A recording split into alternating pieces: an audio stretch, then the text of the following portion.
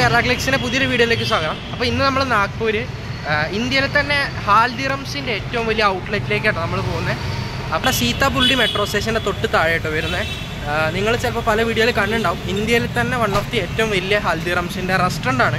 നിങ്ങൾ ചിലപ്പോൾ ഹാൽദിറംസ് വല്ല നംകീൻസോ അങ്ങനെ എന്തെങ്കിലും ചിപ്സ് ഒക്കെ കഴിച്ചിട്ടുണ്ടാവും മേ ബി നാട്ടിൽ നിന്ന് ഇത് അവരുടെ റെസ്റ്റോറന്റ് ആണ്. അപ്പോൾ എങ്ങനെയുണ്ടെന്ന് ഞാനും ആദ്യമായിട്ടാണ് പോകുന്നത് നമുക്ക് പോയിട്ട് നോക്കാം. സീതാബുഡി എന്ന് പറഞ്ഞ സീതാബുൾഡി എന്ന് പറഞ്ഞ സ്റ്റേഷനിൽ ഇറങ്ങി കഴിഞ്ഞാൽ നിങ്ങൾ റെയിൽവേന്ന് വരുമ്പോൾ എനിക്ക് തോന്നുന്നു ആ സൈഡിൽ നിന്നായിരിക്കും വരുന്നുണ്ടാവുക. വന്നു കഴിഞ്ഞാൽ നിങ്ങൾക്ക് ഇങ്ങനെ നടന്നു കഴിഞ്ഞാൽ കാണാൻ പറ്റും.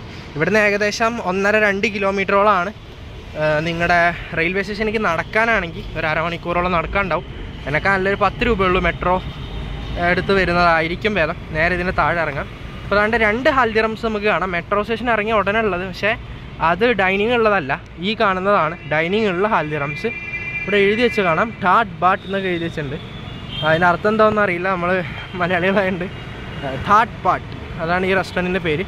ഹാൽദിറംസിനെ കുറിച്ച് പറയുമ്പം ആയിരത്തി തൊള്ളായിരത്തി മുപ്പത്തി ഏഴിൽ ഗംഗ ബിഷാൻ അഗർവാൾ എന്ന വ്യക്തിയായിരുന്നു ഇതിന്റെ ഫൗണ്ടർ ഇന്ത്യയിലെ നോയിഡ യു പി എന്നീ പ്രദേശങ്ങളിലാണ് ഈ ഹാൽദിറംസ് എന്ന് പറഞ്ഞ കമ്പനീന്റെ ഹെഡ് ക്വാർട്ടേഴ്സ് വരുന്നത്. ഹാൽദിറംസ് എന്ന് പറയുന്ന ഈ ഇന്ത്യൻ മൾട്ടിനാഷണൽ സ്വീറ്റ് കമ്പനിക്ക് ഇപ്പം ധാരാളം സ്ഥലത്ത് മാനുഫാക്ചറിംഗ് പ്ലാന്റ്സും റെസ്റ്റോറന്റ്സും ഉണ്ട്. നാഗ്പൂർ ഡൽഹി ഗുർഗോൺ ഹൂഗ്ലി റായ്പൂർ രുദ്രാപൂർ നോയിഡ എന്നീ സ്ഥലങ്ങളിലാണ് ഇവരുടെ മെയിൻ സെന്റേഴ്സ് നിലവിൽ ഇന്ത്യയുടെ നോർത്ത് സൈഡിലേക്ക് കോൺസെൻട്രേറ്റ് ചെയ്തിട്ടാണ് ഇവരുടെ മെയിൻ ആയിട്ടുള്ള ചെയിൻ വരുന്നത്. ഇതിന്റെ ഫൗണ്ടർ ആയിട്ടുള്ള ഗംഗാ ഭീഷൺ അഗർവാളെ ഹാൽദിറാം ജി എന്നറിയപ്പെടുന്നിരുന്നു.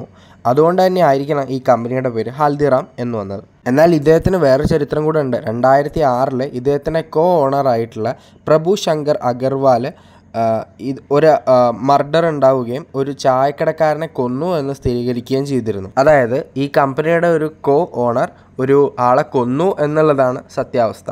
ഇത് എത്രത്തോളം സത്യമാണെന്ന് അറിയുന്നില്ല. എനിക്ക് കിട്ടിയ ഇൻഫർമേഷൻ പ്രകാരമാണ് നമ്മൾ തന്നിരിക്കുന്നത്. എന്നാൽ ഇപ്പോൾ വളരെയധികം മുന്നേറി തന്നെയാണ് ഈ കമ്പനി മുന്നോട്ട് പോകുന്നത്. നമ്മളങ്ങനെ കയറി ഇവരുടെ ടോപ്പ് ഫ്ലോറിലാട്ടോ ഡൈനിങ് വരുന്നത് ഇവരെ മെനു കണ്ടിട്ട് സത്യം പറഞ്ഞാൽ അന്തം വിട്ടു കേട്ടോ. കാരണം പലതരം സാധനങ്ങളുണ്ട്. നമ്മൾ കേൾക്കാത്ത സാധനങ്ങൾ. അഫോർഡബിൾ ആണ്. ഭയങ്കര ഓവർ പ്രൈസ്ഡ് അല്ല ഒരു മീഡിയം പ്രൈസ്ഡ് ആണ് എല്ലാം. ഓർഡർ ചെയ്തിട്ടോ? നമ്മളൊരു ഹണി ചില്ലി പൊട്ടറ്റോ നമ്മളങ്ങനെ ഹെവി ആയിട്ടുള്ള സാധനങ്ങളല്ല ഓർഡർ ചെയ്തത്. അതായത് മെയിൻ കോഴ്സ് ഒന്നും പറഞ്ഞില്ല. പിന്നെ കുടിക്കാനുള്ള ഒരു സാധനം ഒരു ഇവരുടെ ഒരു ബദാമിന്റെ സാധനമാണ്.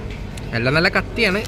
പക്ഷേ പക്ഷെ ഓക്കെയാണ് ഈ ഒരു സെറ്റപ്പിന് ഓക്കെയാണ് നമ്മൾ ഈ മൂന്ന് സാധനങ്ങൾ കൂടെ നാനൂറ്റി പതിമൂന്ന് രൂപയായി.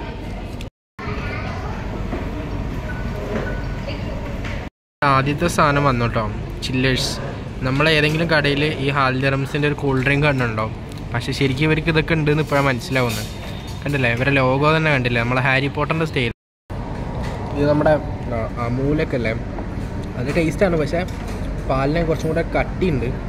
ഇവിടെ രണ്ടാമത്തെ സംഭവമായിട്ടുള്ള ഒരു ചീസ് ആൻഡ് സ്പിനാച്ച് ഒരു ഫ്രൈ വന്നിട്ടുണ്ട് കേട്ടോ. അതിലും എങ്ങനെയുണ്ട് കഴിച്ച് ഇത് മോമോ അല്ല ഒരു ചീസ് ആൻഡ് സ്പിനാച്ച് ഒരു ഫ്രൈ ചെയ്തിരിക്കുന്ന സാധനമാണ്. അതായത് ഈ ഒരു വറുത്ത സാധനത്തിന്റെ ഉള്ളിലാണ് സ്പിനാച്ചും കാര്യങ്ങളൊക്കെ ഉള്ളത്. ആ ഒരു വെളുത്തുള്ളിനും സ്പിനാച്ചിനും ടേസ്റ്റ് ശരിക്കും എടുത്തറിയുന്നുണ്ട് അതിന്റെ കൂടെ നമ്മളെ എന്താ പറയുക ചീസും ഈ സാധനമല്ല നമ്മൾ കുറച്ച് മയോനൈസിനോട് മുക്കിയിട്ട് കഴിച്ചു കഴിഞ്ഞാൽ എന്റെ മോനെ ഇടുന്ന സാധനം കേട്ടോ. സ്റ്റാർട്ടേഴ്സായിട്ട് ഓർഡർ ചെയ്യാൻ സെറ്റാണ് ഈ പ്രൈസ് റേഞ്ചിൽ ഈ പൈസ മുടക്കുന്നതിന് വർത്ത് കേട്ടോ സാധനം. ഇതിനാണെങ്കിൽ വലിയ എരിവൊന്നുമില്ല കേട്ടോ. പിന്നെ നമ്മൾ ഭയങ്കര ചൂട് പ്രതീക്ഷിക്കും. നമ്മുടെ പൊട്ടേറ്റോ ഹണി ചില്ലി സാധനം വന്നിട്ടുണ്ട്. ഇത് പിന്നെ നമ്മളെ കോഴിക്കോടൊക്കെ ധാരാളം കിട്ടുന്നത് ഇങ്ങനെ ഒരു സാധനം ഞാൻ ആദ്യമായിട്ടാണ് കഴിക്കുന്നത് സ്പെഷ്യൽ സാധനങ്ങൾ വേറെ കുറേ ഉണ്ട്.